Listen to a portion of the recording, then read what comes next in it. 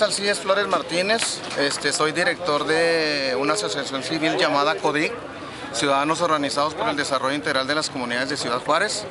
Este, y el motivo de nuestra presencia hoy en este evento es venir a denunciar un hecho que aconteció el domingo 30 de, de noviembre, aproximadamente a las 10 de la noche, en la que cinco personas fueron agredidas violentamente por la corporación policíaca, o sea, por la policía municipal, este, sin motivo alguno, saliendo de las instalaciones del POQUE de ubicadas en el eje Juan Gabriel, este, llegó una patrulla a revisión de rutina, me imagino, y este, ocurrieron todos estos hechos. Dos de las personas que, de las cinco que fueron agredidas son integrantes de la asociación civil, entre ellas una que es abogada, este, a lo cual les estuvo solicitando pues este, los motivos por el cual se iban a llevar detenida una persona sin que este, dieran motivo alguno y simplemente contestando con golpes, con amenazas y remitiéndolas a la delegación de policía. Entonces, nosotros sí estamos molestos como asociación civil porque estamos trabajando en favor de la comunidad para disminuir la violencia y desafortunadamente estos hechos creo que, manchan precisamente la imagen de una corporación que se supone debe proteger a los ciudadanos. Nosotros como organización estamos promoviendo un programa este, en defensa este, para fomentar la cultura de la denuncia ciudadana este, en escuelas con niños, maestros, este, padres de familia. Estamos también promoviendo el respeto a, la, a, los policías y creo que este hecho pues para nada dejan bien a este cuerpo, a esta corporación policial. ¿Bajo qué cargos lo remitieron a la estación?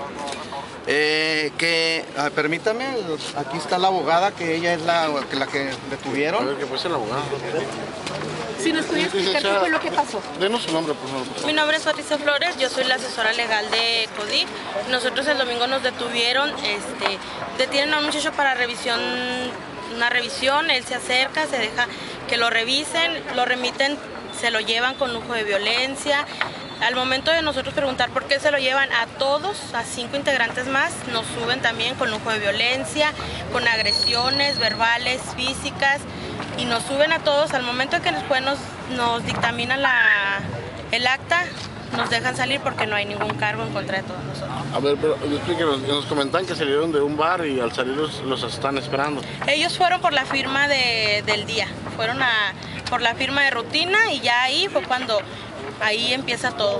O sea, nada más hacen una revisión al joven, que estábamos ahí todos, preguntamos por qué se lo van a llevar, inmediatamente ya de ahí lo esposan, el, nosotros otra vez volvemos a preguntar el por qué se lo van a arrestar si no hay ningún motivo ni ninguna circunstancia que hayamos hecho. ¿Ustedes ya presentaron alguna queja? En eso estamos ahorita. ¿Por qué el 30 de noviembre a la fecha no ha presentado una queja? Usted es abogada. Sí, porque, por eso mismo, porque nosotros estamos tratando de ver bien todo y hacer bien la descripción de los hechos, de hacer todo bien y conforme a ley. ¿Serían asuntos internos? ¿El número de las unidades? Fueron alrededor de seis patrullas. Este, tenemos el, el número nada más de una de las que llegó, que fue la 776.